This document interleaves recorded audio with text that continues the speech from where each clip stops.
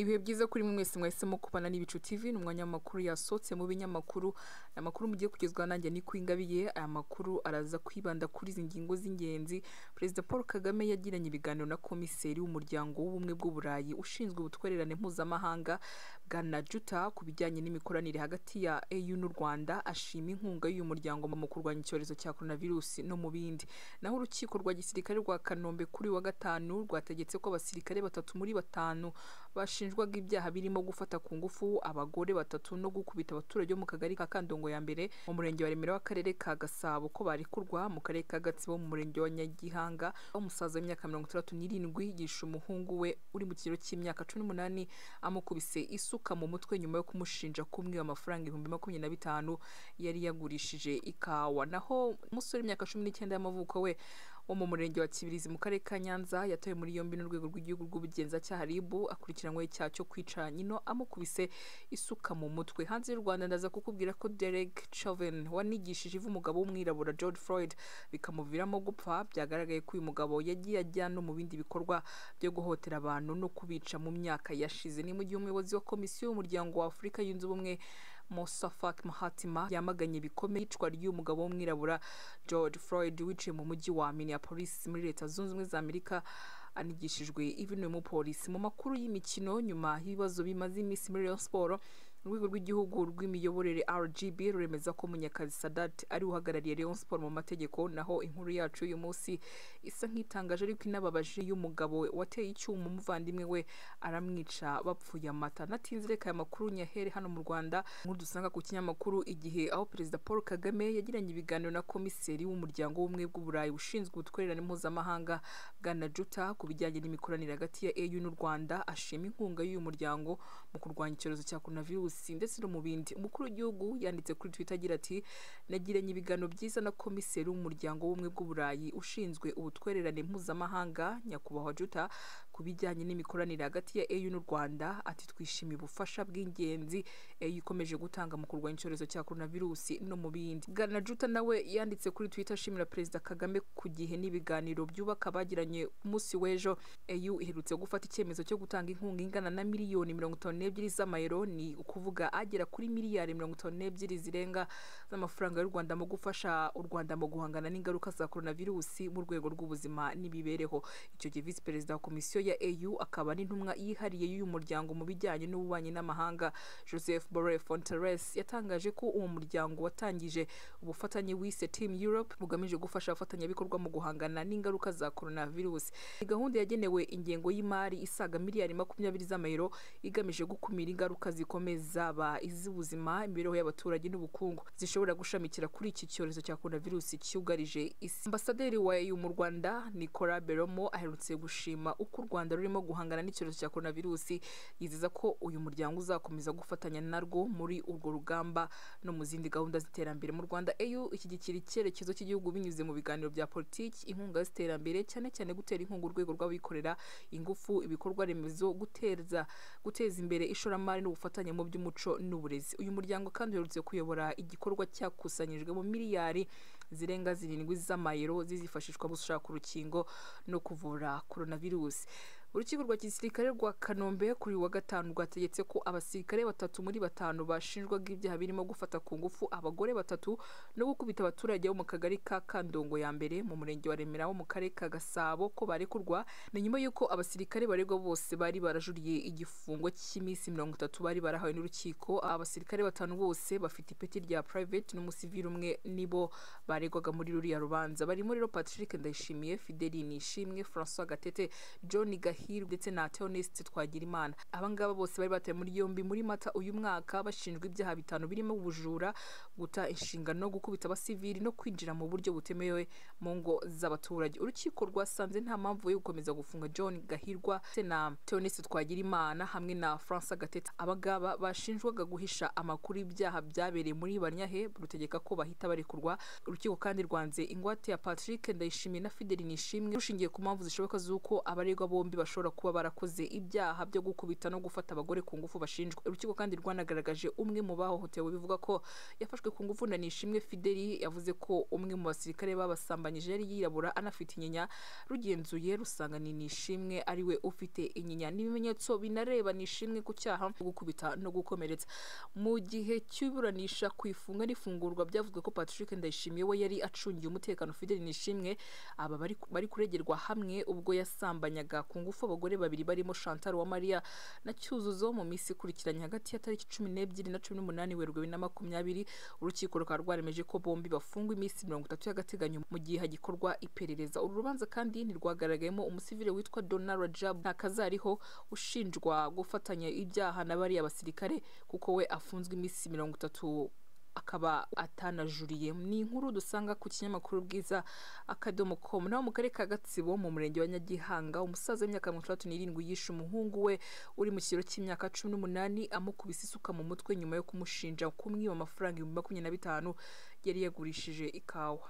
Ibi ngibi bikaba byarabaye mu rukera rwo kuwa kane tariki ya makumyabiri n'umunani gicurasi makumyabiri bibera mu kagari ka murambi umudugudu wa gishikiri mu murenge wa nyagihanga. Amakuru igihe ikesha abaturanyi b'uyu muryango avuga ko uyu musore yamenye ko se babanaga bonyine yagurishije ikawa amafaranga menshi agashaka undi musore w'ikirara bakajya umugambi wo kuza kumucunga asinziriye bakamuniga bakayamwambura. Ibi ntibyatinze ngo ahagana ama saa tatu z'ijoro basanze uyu aryamye baramukubita bamuhindura intere bamwambura ya mafaranga ubundi ajyanwa na wa musore w'ikirara undi asubira mu buriri araryama. Umunyamabanga nshingwabikorwa w'umurenge wa nyagihanga mutabazi godfrey yabwiye ko uyu musaza yishe umuhungu we nyuma y'uko nawe yashatse kumwivugana. Gitifu mutabazi akaba yavuze ko uwo musaza hamwe n'uwo musore wafatanyije n'uwo mwana we kumwiba ngo bombi bahise bashyikirizwa urwego rw'igihugu rw'ubugenzacyaha rib rukorera mu murenge wa ngarama muri gatsibo kugira ngo hakorwe iperereza. Naho mu karere ka nyanza ho umusore w'imyaka cumi n'icyenda y'amavuko umurenge wa kibirizi mu karere ka nyanza yatawe muri yombi n'urwego rw'igihugu rw'ubugenzacyaha rib akurikiranyweho icyaha cyo kwica nyina amukubise isuka mu mutwe. Uwo musore yari asanzwe abana na nyina w'imyaka mirongo ine y'amavuko mu kagari kambuye mu murenge wa kibirizi. Icyaha cyo kumwica akekwaho yagikoze kuwa kane tariki ya makumyabiri n'umunani gicurasi bibiri na makumyabiri bikaba bivuga ko bapfuye kuko yamubuzaga kugurisha imyaka kandi barayihinganye. Umwe mu baturanyi babo yavuze ko uwo musore akimara gufatwa yavuze ko kwica nyina yabikoze kuwa kane agana saa mbiri za mu gitondo bitewe n'uburakari kuko yari yamubujije kugurisha imyaka bahinganye.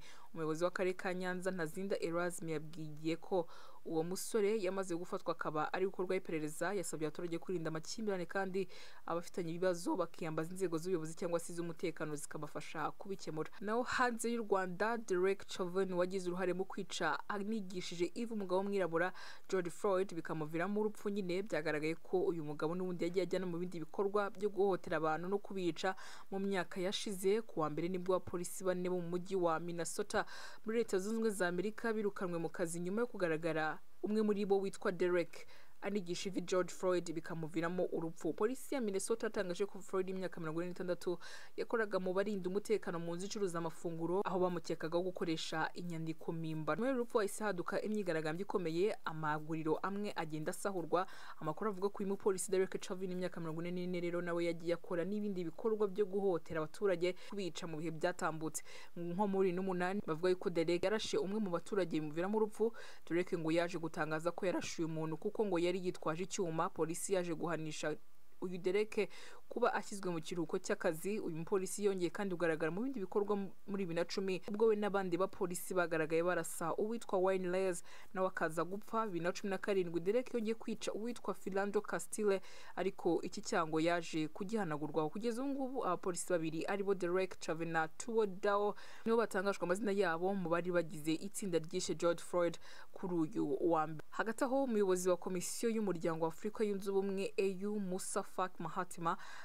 yamaganye bikomeye yicwa ry'uyu mugabo w'umwirabura wiciwe mu mujyi wa minneapolis muri leta zunze za amerika. Mahatima yibukije umwanzuro w'umuryango wa afurika yunze ubumwe wafatiwe mu nama yabereye i kairo mu misiri hagati y'itariki cumi na zirindwi na makumyabiri n'enye nyakanga muri mirongo itandatu na kane wamaganaga ivangura ry'amoko muri leta zunze ubumwe za amerika yamagana ibikorwa nk'ibyo byikomeje itangazo rya komisiyo ya eu rivuga ko mahatima yongeye gushimangira ko umuryango wa afurika yunze ubumwe wamaganye ibikorwa by'ivangura bikomeje kwibasira abirabura muri leta zunze ubumwe za amerika aho yakomeje asaba abategetsi ba leta zunze ubumwe za amerika kongera ingufu mu kurandura burundu ivangura iryo ari ryo ryose rishingiye ku bwoko n'inkomoko. Ibi byabaye kuri floyd bikaba bikomeje kubyutsa umujinya w'abavuga ko polisi yica abirabura muri amerika. Abigaragambye bakomeje kujya mu mihanda mu bice bitandukanye birimo chicago los angeles na memphis bose bigaragambya kubera urupfu rw'uyu mugabo w'umwirabura wishwe anizwe n'umupolisi w'umuzungu. Naho perezida wa leta zunze ubumwe za amerika donald trump yatangaje ko yahagaritse imikoranire. Iki gihugu cyari gifitanye n'ishami ry'umuryango w'abibumbye ryita ku buzima oms bwana donald trump akaba ashinja oms kunanirwa gukurikirana ubushinwa mu buryo bwitwaye ku cyorezo cya coronavirusi bbc yanditse ko ubwo trump yatangazaga ingamba zigamije guhana ubushinwa yavuze ko bugenzura ishami ry'umuryango w'abibumbye ryita ku buzima ryose. Ubwo yari ari mu busitani bwa rose garden. Bwo mu nyubako y'ibiro bye bya white house trump yagize ati uyu munsi turahagarika umubano w'imikoranire yacu n'ishami ry'umuryango w'abibumbye ryita ku buzima inkunga tuyohereza ahandi. Yakomeje avuga ko ubu ngubu isi iri mu kaga kubera imikoranire mibi ya leta y'ubushinwa kuko bwateje icyorezo kimaze guhitana ubuzima bw'abanyamerika barenga ibihumbi ijana. Perezida trump yashinje ubushinwa kotsa igitutu oms ngo iyo by'isi ku bijyanye na coronavirusi avuga ko inkunga amerika yageneraga oms izashyirwa mu yindi miryango. Amerika ni cyo gihugu cya mbere ku isi gitera inkunga nyinshi cyane oms mu mwaka ushize. Wa bibiri na cumi n'icyenda ikaba yarahaye oms arenga miliyoni magana ane z'amadolari ubushinwa nabwo bwakunze gushinja amerika ko ariyo yo kuryozwa ikwirakwira rya coronavirus ku butaka bwayo buvuga ko byatewe n'abanyapolitiki muri amerika babeshya. Mu makuru y'imikino nyuma y'ibibazo bimaze iminsi muri Rayon Sport urwego rw'igihugu rw'imiyoborere rgb ruremeza ko munyakazi sadad ari we uhagarariye real Sport mu mategeko. Amakuru yizewe agera kuri kigali today aremeza ko nyuma yo gusuzuma ibijyanye n'iki kibazo rgb yemeje ko munyakazi sadad ari we wemewe nk'umuyobozi wemewe n'amategeko wa real Sport. Mu gushaka kumenya neza aya makuru kigali today yavuganye n'ushinzwe kumenyekanisha amakuru muri rgb frederic nawe ukuri ryayo ababwira yuko munyakazi sadat yemewe guhagarara Rayon Sport mu mategeko. Naho kuri ryayo yagize ati nyuma yo gusuzuma ibibazo biri muri Rayon Sport twasanze munyakazi sadat ari uhagarariye Rayon Sport mu mategeko abandi mu mategeko ntabwo bemewe. Hano ku musozo w'aya makuru inkuru yacu y'uyu munsi itangaje ariko inababaje. Mu gihugu cya Kenya aravuga inkuru ibabaje y'abavandimwe babiri bicanye bapfa ko umwe yanyoye amata y'undi bibyara ubushyamirane bwatumye umwe yegura icyuma kijomba muri umuna we bimuviramo urupfu Peter Kiprotich Cherigutu w'imyaka mirongo itatu n'icyenda ni we wateye icyuma muri umuna we witwa Charles Cherigutu Churugoyi w'imyaka mirongo itatu n'irindwi aramwica amuhoye ko yamunywereye amata polisi y'ahitwa Rodan yavuze ko ubu bwicanyi bwaturutse ku bushyamirane bwabaye hagati y'abavandimwe bapfa amata yo kunywa amakuru avuga ko uyu Charles yatewe icyuma mu ijosi n'umuvandimwe we aravirirana kugeza apfuye. Umurambo wa Sharire wahise ujyanwa ku bitaro bya Moro kugira ngo hakorerwe isuzumwa. Ubwo polisi bari bageze aho icyaha cyabereye umugabo wishe umuvandimwe we yahise ahunga gusa nyuma yaje gushakishwa araboneka kuri ubu ngubu akaba yamaze gutabwa muri yombi. Nansoreje aya makuru yaragezweho muri kano kanya mu binyamakuru andi araza kubageraho mu kanya kari imbere. Yeretwa ni kwingabiye naho iyi ni ibicu tv kora subscribe niba utarayikora maze tujye dukomeza kubona buri munsi mu makuru yagiye avugwa hirya no hino ndetse n'ibiganiro bigiye bitandukanye ibihe byiza.